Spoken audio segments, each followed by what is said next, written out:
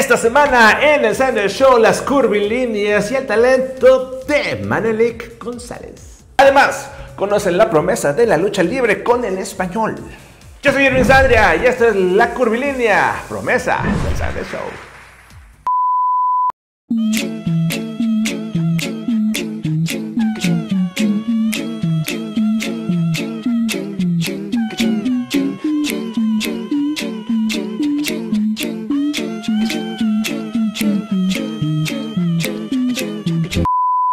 Sunday Livers, seguramente más de uno habrá escuchado la famosa y icónico tema de los millennials, la puti vuelta.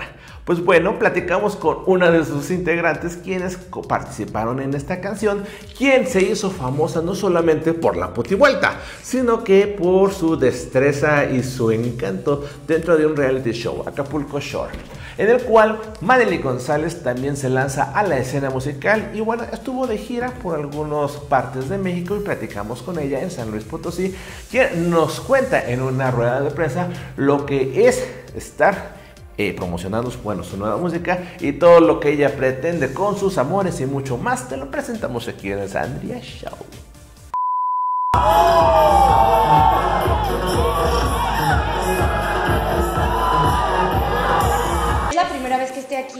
La verdad estoy súper contenta porque retomé mi gira de nuevo. La verdad es que estuve en otros proyectos, estuve con mi línea de trajes de baño, también otro proyecto en puerta. Igual tengo otro proyecto en televisión que no es Acapulco Shore.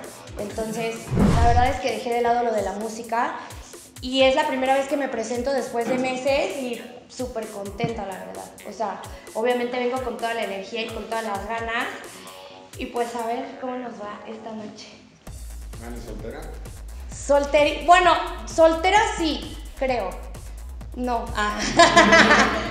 o sea, no tengo novio formal, pero obviamente soltera no estoy. Tengo como que a mis noviecitos por ahí.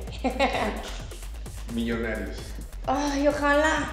Yo quiero un estúpidamente millonario, ya sabes. Dale un consejo a las chicas para conseguir un estúpidamente millonario. Ay, no, más bien ustedes sí tienen un consejo para mí, porque la verdad es que yo lo canto, pero es que están escasos, chingado. Entonces, ahí si conocen a uno que me quiera conocer, por favor, mándenmelo, ya tienen mi Instagram. Tenemos, ella tiene ahorita un show también, este, te digo que yo ando como loca. De hecho, estoy por sacar este, mi nueva canción. Entonces es un poco complicado porque ella está en su gira, yo estoy en la mía. Está muy complicado, la verdad. Entonces, pues cada quien como que juntas pero no revueltas. No, no estoy negada a salir como en algo como Playboy, pero la verdad es que ahorita no tengo esos planes. No puedo platicar mucho, pero tengo muchos proyectos en televisión. O sea, hay mane para rato, aunque todo el mundo sabe que yo ya no estoy y no voy a estar en Acapulco Shore como integrante principal. Mm, A lo mejor y voy como invitada, yo qué sé, no me cierro a eso, pero van a tener mane para rato, pero en otros proyectos de televisión. Total y completamente diferentes a Acapulco Shore. Yo estoy súper agradecida con ese público. Yo sé que es un público muy difícil, pero también es un público que te acoge y que si ya te aceptó, o sea, ya estás avalada y ya na- nadie te puede tocar. Entonces yo la verdad estoy muy agradecida y no nada más aquí, sino con el público de aquí, sino en todos lados y súper contenta, nunca me lo esperé, pero estoy súper agradecida. Y mucho de lo que hago, o sea, la primera canción que hice, la verdad, no fue pensada hacia este, hacia los gays. Pero ahorita obviamente yo me debo a ellos y todo lo que hago le meto como que un poquito de, de jotería. Eh, me voy para Guadalajara, me voy a Puebla, me voy a Perú. eh, me voy a me voy a estar presentando en mi DF y en Guadalajara es donde voy a presentar mi nuevo sencillo, o sea, ya, ya, lo tengo aquí. Pues la verdad, este, espero lo que siempre, o sea, que, que llegar y sentir la euforia de que se sepan mis canciones, que estén emocionados, que canten conmigo, que se la pasen bien. Y lo que yo pretendo en mis shows es de repente convivir más, no nada más que me vean como ella vino a cantar, no, o sea, en realidad pretendo convivir con los fans, estar con ellos, que se sientan de repente como parte del show y mis amigos, o sea, me gusta mucho que luego es como, hey, Mari, me abrazan y me tienen como mucha confianza, me sienten como muy cerca y eso la verdad es que me gusta, no me ven como, ay, no, es que qué payaso, ¿cómo le vamos a agarrar? No, entonces es algo que la verdad disfruto mucho y hoy va a ser una gran noche, eso estoy segura. que, que sigan sus sueños, que hagan lo que quieran mientras no afecten o no molesten a las demás personas y más que nada a su familia, gente cercana. Que se dejen ser, porque en realidad al final ni nadie te da de comer, ni no vives de las demás personas, entonces tú no puedes vivir de las demás personas cuando esas personas no dan absolutamente nada de ti más que malos comentarios. Entonces que se vayan los malos comentarios, chao y que se quede lo bueno. Amigos de Espectacular TV, yo soy Maneli que les quiero mandar un beso tototote hasta donde están.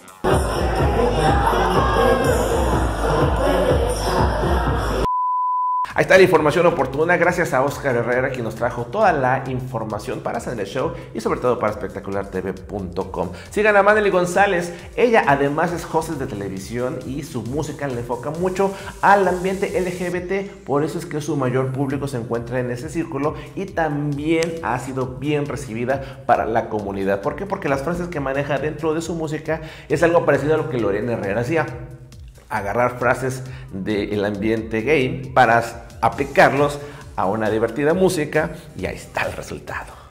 Todo un éxito para la comunidad LGBT. Nosotros continuamos aquí en el Sana Show. El Sana Show se ha caracterizado por ser tan versátiles en sus entrevistas y en sus pláticas que ahora platicamos con una promesa de la lucha libre, el español.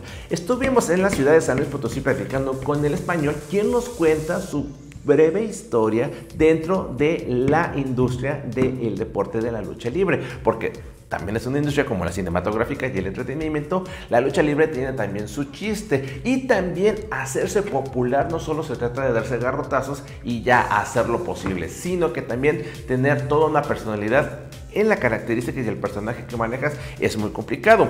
Nos cuenta el español la historia del cómo llegó a la lucha, cómo se ha desenvuelto dentro del ambiente deportivo y también todos los logros que ha tenido porque ha sido protagonista de un cortometraje muy interesante que fue ganador de un festival de cine y todo esto no lo cuenta aquí en el Sunday Show.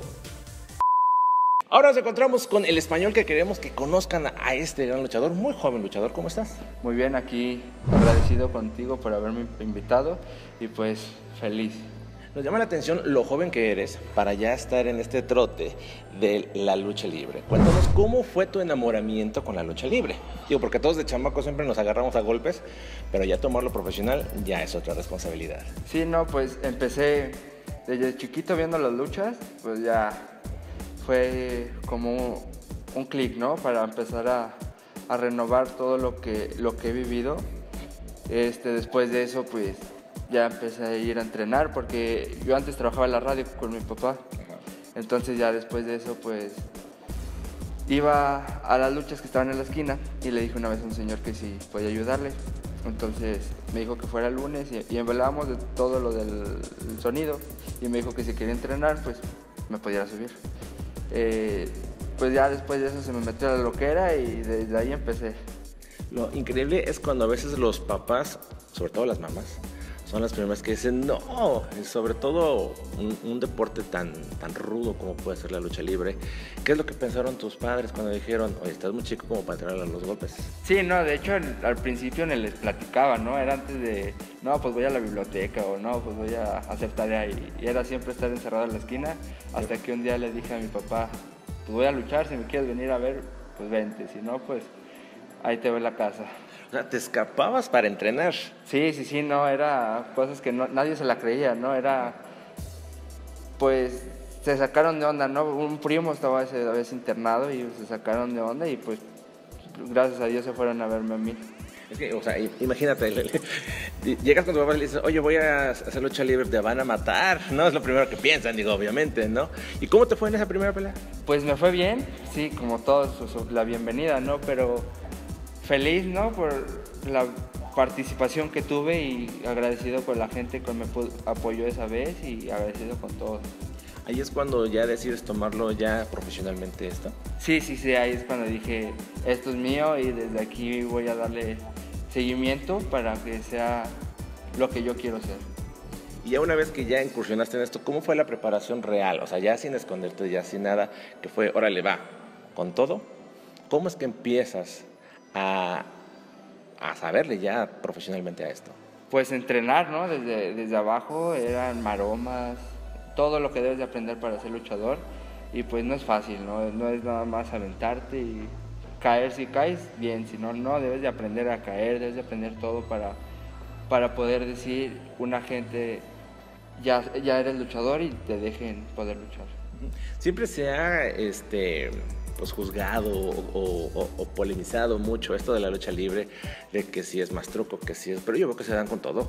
No, sí, mucha gente dice, no, que es falsa, pues súbanse a un ring a ver si es cierto. El solamente subirse a un ring es difícil, entonces el que quiera que ver que en verdad es lucha, pues vaya, de verdad que es muy bonito y de verdad es real. Si no, como les digo, súbanse uno y a ver si no. Una, una vez me invitaron a cubrir una lucha libre, yo nunca había ido. Y me tenían ahí a pie del ring. Se oye bien feo. Se oyen los, los golpes. Te lo juro que salí aterrorizado porque los golpes que se dan, los, los, los cómo caen y cómo suena, sí, sí, sí, es muy impactante. Bueno, yo que estaba ahí al ras, sentía feo. Dije, "Oye, imagínate el que le está dando el chingadazo arriba. Doblemente feo. No, sí, ¿no? está, está muy feo, pero por algo, para algo naces y para algo debes de seguir creciendo y creo que para mí se me dio ese don y agradecido con Dios y con todas las personas que me han apoyado. todo el mundo por delante y nos llamó también la atención de que fuiste seleccionado por un grupo de jóvenes cineastas para crear un, un pequeño cortometraje, una historia en cine. Cuéntanos cómo ha sido esa experiencia, cómo es esta cuestión de que pues, es muy diferente el, la lucha libre a una- un trabajo audiovisual. No, pues una experiencia inolvidable, ¿no? Es algo primerizo que tengo y agradeciendo a los chavos que me invitaron, pues como nunca hay que decir, nunca hay que decir que nunca va a pasar nada, sino al contrario, hay que pensar en que en, en grande, ¿no? Si no, pues ahí vas a quedarte y pues algo muy bonito porque uno no se sabe, entonces pues de hecho, hablando de esto, pues no traigo mi máscara, ¿no? Esta es la de máscara mística, agradeciendo la presencia de las personas que están y la traigo para que vean que en San Luis hay un poco de talento, sino de lucha, en lugar de luchadores que hay de gente de cine y pues que vean que es muchas cosas atrás de esto. Sí, porque déjenme aclararles que él es el español. Así es como él trabaja, como él lucha normalmente. Ahorita los agarramos haciendo parte de lo que viene siendo el cortometraje y se llama El Máscara mística. sí. Máscara, Máscara Mística, pero es el personaje de la Sí, sí, sí, película. no, es- Sí, se llama así como, ah, que tiene la M en la cabeza. No, no, no, es- No.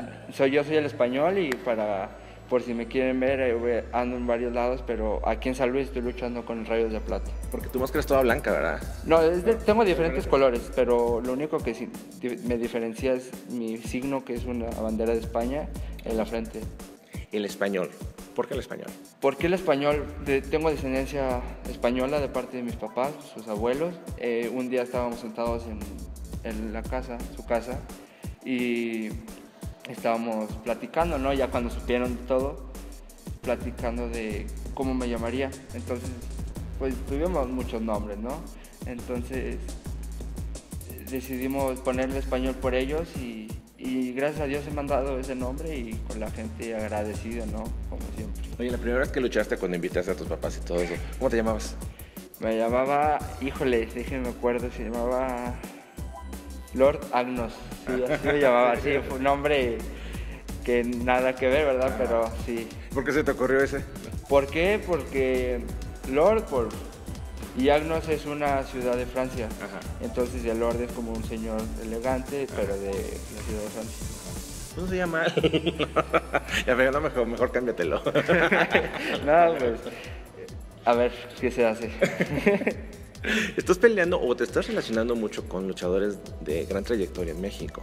Sí, sí, sí, pues hace poquito luché con Gronda, he luchado con Negro Casas, con Ciclón Ramírez, con Taurus, con mucha gente que ya ahora en la actualidad ya es conocida y muy buena gente. Eh, y en el mundo de la lucha, ¿cómo aceptan estas personas veteranas a los nuevos talentos? ¿Sí, sí les, ti- sí les tienen cierto recelo o son bienvenidos? ¿Les enseñan? ¿Los bulean? Hay de todo, ¿no? Siempre va a haber gente que no te quiera, hay gente que, que siempre va a decir no o sí te van a, a dar la bienvenida bien. Pero nunca se sabe en este mundo de la lucha cosas. ¿Y eso de los rudos y los técnicos? Pues es muy padre, ¿no? Siempre hay un, un técnico quiere luchar por el bien y el mal, el rudo quiere luchar por el mal. Siempre quieren salir ganando los malos, ah, como sea. ¿Tú eres técnico? Sí, yo soy técnico, sí, soy técnico al 100%. Es que a veces los rudos se ponen en su papel muy, este, vaya, muy, muy malosos. ¿no? Sí, ¿no? sí, O sea, sí. Pero es divertido, digo, al fin y al Sí. cabo, dentro de todo el- el- el- el- la cuestión deportiva y, real también está el área del entretenimiento, del espectáculo. También la lucha es un, es un rato de esparcimiento y se presta para esas cosas. Sí, no, es, de hecho para eso es, ¿no? Aparte de, de defendernos, es para la gente, de que, de que se diviertan un poco, de que puedan sacar todo el estrés que pasan, sino también para eso estamos nosotros. ¿Cómo se toma la, la energía de la gente? Porque se, se levanta una energía impresionante de la gente, se enojan, mientan la madre, este, se enfurecen, eh, obviamente cada uno con su bando. Sí, no, hay veces que nosotros hasta con la misma energía de ellos, nos, prendes, sí, ¿no? no, nos prendemos luego, luego y cómo, cómo no hacer cosas que podemos, que son cosas que dices, ¿cómo una persona puede hacer esas cosas? Y las hacemos por la adrenalina. Oye, en el, en el cortometraje que platicábamos, eh, hacíamos referencia a- al antiguo cine donde los luchadores eh, hacían cine, bueno, y ha- hacían determinadas historias. ¿Qué luchador de aquella época te puede a ti influenciar de alguna manera? Son varios, eh, El Santo, el Espectro, que en paz descanse, que falleció el Rayo de Jalisco. Y pues hay muchos que, el Perro Aguayo, hay el Solitario, ¿no? Muchos luchadores que, que puedes decir que gracias a ellos empezó la lucha libre. ¿Te gustaría que los luchadores volvieran a esas películas un poquito bizarras y raras, pero eran películas, eran historias? Sí, no, estuviera fenomenal, ¿no? Porque en lugar de también... Uno, es mucha diferencia, ¿no? La lucha, el cine, pero es bonito las dos cosas y se puede... Y las dos cosas se juntan muy padres, entonces sería muy padre. Platicabas hace un momento del, personaje que interpretas. eh, es un, un poquito referenciado en algunos aspectos en tu vida. ¿Cómo es que te encariñaste con esa idea? Pues yo desde chiquito he sufrido mucho de bullying, este, siempre fui el, el que lo humillaban, al que le cortaban el pelo. Entonces, Y ahora que te tengan miedo. sí, no, ahora sí. Entonces, ya te vi, bueno. ahí vaya a estar. Ahí donde te encuentre. Entonces, pues de ahí empezó. El proyecto está muy bonito, de verdad que son cosas que dices, cosas que nunca se ven en, en- en la tele y, y pasas momentos que, que no se describen. Digo, no, no es que les contemos la historia del corto, pero eh, resulta inspirador para aquellas personas justamente que tienen esa, esa situación en su vida, lo que, es, lo que es el bullying, cómo enfrentarlo, cómo salir de eso y ahora sí que salir como superhéroe, ¿no? Avante, sí. ¿no? Sí, no, es muy, muy padre, luchas con todo. Eh, en la película, pues, es, estás luchando con la gente que te hace bullying y, y terminas ganando, ¿no? Es siempre con un bonito final y es ganarle a los malos. ¿Tú tuviste ese bonito final en tu vida del bullying? Sí, sí, sí. No le miento, a veces no, nunca se quita el bullying por todavía en la universidad me tocó y pero tengo bonitos finales, ¿no? El terminar con la gente la lucha agradeciéndome con mi familia que son parte de mi vida, con mi hermana, con mis papás, con todos, ¿no? Especial también con la gente que nos apoyó y con mi novia también. Pero ahorita ya le haces una huracarrana. ¡Este perro! Sí, no, ya ahorita los cargo y los aviento. Ahorita qué miedo, a ver, a ver, háganle algo. chingas, ya no le nada. No, no, ya no. Pero está muy bonito.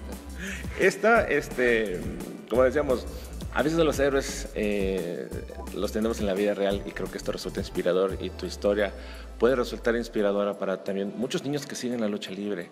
Eh, el poder llevar un mensaje positivo de alguna manera correcta o inspiradora es una gran responsabilidad. Sí, no es. Me toca a veces que no soy quien no para decirlo, pero hay muchos niños que me tocan, que me piden fotos y, a veces me dicen que, que quisieran ser como yo, entonces es muy bonito. Mi papá una vez me dijo que una niña estaba llorando porque me estaban pegando. Muchas cosas que, que te das cuenta que pues uno no lo ve. Entonces es una responsabilidad muy fuerte por, para los niños que salgan adelante y que no se den por vencidos. Muchas veces se dice que el, el estar tras la máscara te transforma en la persona que a veces quisiéramos ser o que nos, nos, nos da cierta, cierto poder, ¿no? Sí, Y no. si en ti pasa, o sea, ponerte la máscara te transforma en el español que viene siendo, tiene, bueno, tiene otras cualidades. Hacer tú en la vida real sin máscara, Sí, no, yo sinceramente sin máscara soy muy penoso, soy muy callado y con la máscara soy, soy otro, ¿no? Soy, no me da pena, al contrario, hace rato fuimos a tomar unas fotos con mucha gente y sin máscara nada de, no, qué pena. Y me la puse y fui otro, ¿no? Me, las agarré, los pantalones y ahí estuvo. porque ahorita veníamos en la calle y venía con la máscara y la gente obviamente voltea a ver quién es, ¿verdad? Sí, sí, Y si te vimos un poquito más así de, soy este, el español. Sí, no, así hay que. Nunca hay que dejarnos con la mirada abajo, ¿no? Porque eso significa que no ti- tienes miedo a algo, ¿no? Entonces también hay que siempre tener la cara en alto para sentirte seguro de uno mismo. ¿Mm? Con máscara sin máscara, usted siempre sube la cara. Sí. ¿Dónde siguen la historia del español? Ahorita, pues, no estoy luchando por lo mismo, pero estoy con el Rayos de Plata y con Vaquero Texas. ¿Los luchadores usan también redes sociales? Sí, sí, sí, yo sí tengo mis redes sociales. Y si quieren, búsquenme con el luchador el español oficial en Facebook. ¿Así? Luchador el español oficial. Luchador el español oficial. Síganlo. Ahí va- ahí- ahí- ¿qué, subes? Tú como luchador, ¿qué subes? Ahí yo subo Se me ocurre así como que, pues, que sube un luchador, sus músculos. No, no, no, no, no. Subo los programas en los que voy a, a salir, Ajá. eh, los eventos, todo, y, y los momentos que se vivieron en la lucha. Eh, a veces subo los videos de cómo fue la lucha, entonces subo todo lo que he vivido. Algún tipo de backstage de que te estás preparando, cosas así. A, co- a veces sí es muy raro, ¿no? Pero sí lo subo. Por los vestidores, a veces no, lo- no dejan entrar a más gente, pero sí. Síganlo, síganlo porque es un, es un luchador muy joven. Sí. Este, tienes todavía mucho por delante y esperemos todavía seguir viendo el español con, con ese bombo y platillo con lo que te reflejas. Gracias. no, Y ¿qué lo va a hacer? Y claro, síganlo a través de las redes sociales. ¿En todas las redes estás igual? No, nada más, ahorita estamos en Facebook, ¿no? Pues, Nada más Facebook. Sí, nada más en Facebook. Ok. Para que no copies imitaciones. no, eso sí. Por eso es el oficial. Es el oficial. Sí. Por eso es luchador El español oficial. oficial. Sí, sí, sí. Sí, a mandar el mensajillo de que Powerball. Sí, Gracias. sí. No, usted y agradecido con usted mucho. Síganlo de cerca. Un gran futuro de la lucha. Y bueno, muchísimas gracias. Muchas gracias. El español es un muchacho muy joven y está aprendiendo, pero ha logrado mucho en la escena del deporte. Como bien platicábamos con él en la cuestión no solamente del género deportivo, sino que en el entretenimiento, se acercaron a él por la imagen que, bueno, que tiene para poder hacer un cortometraje en Guanajuato, en el cual dentro del festival, uno de los festivales más importantes de la región, lo eh, catalogó como una de las mejores producciones. ¿Por qué? Porque el personaje del español era un superhéroe para que inspiraba a un niño que era víctima de bullying. Entonces, cuando el niño, eh, vaya, se ponía la máscara de su luchador favorito en el cortometraje, él se sentía superhéroe y se podía defender contra sus abusadores. Esa es la cuestión inspiradora que muchos luchadores difícilmente logran tener. Pero el español ha logrado poder tener una imagen limpia. Él es técnico y que bueno, también tiene mucho camino todavía que hacer en la lucha libre. Y no solamente en este género deportivo, porque eh, se va a hacer un reality de emprendedores, de jóvenes emprendedores, en el cual él también es imagen, en el cual se llama Reality Networks es de jóvenes emprendedores y el español también forma parte de este gran proyecto que no se pueden perder en la ciudad de San Luis Potosí. Síganlo en sus redes sociales, así como se llama El Español. Y lo encontrarán y sí, sobre todo sus pasos en el deporte y, por qué no, en muchas cosas más. Sandra Libre, nosotros ya nos vamos. Esperamos que les haya gustado mucho el programa de hoy. Muchas gracias por todas sus suscripciones. Tenemos cada semana más suscriptores y eso nos da muchísimo gusto, por lo cual hacemos todavía mejores cosas para ustedes. Tenemos ya hasta nuestro corresponsal, Oscar Herrera, que nos trae toda la información del entretenimiento y bueno, y todo lo que podemos llevarles a través del espectáculo. Pongan las notificaciones, la famosa campanita, para que todos los lunes a las 12 del mediodía salga todo lo que es lo nuevo del Sandria Show. Tenemos exclusivas, tenemos entrevistas, tenemos muchas notitas más de tus artistas favoritos. También los invitamos a que nos sigan a través de www.espectaculartv.com. Ahí hay muchas cosas interesantes para todos ustedes y que bueno puedan ver además del Sandra Show. Hay otros programas. Está nuestra primera temporada de Retrovisión. Próximamente una nueva temporada de Retrovisión. Eso te lo platicamos aquí en exclusiva, así como también muchas sorpresas más dentro del de género. Muchas gracias a todos, nos vemos la próxima semana. Recuerda, Sana Show lo encuentras todos los lunes a las 2 del mediodía ya en nuestro canal de YouTube. Suscríbete, ponle me gusta, ponle comentarios y obviamente te queremos mucho. Mi nombre es Irving Sanja, nos vemos la próxima semana en el Sana Show.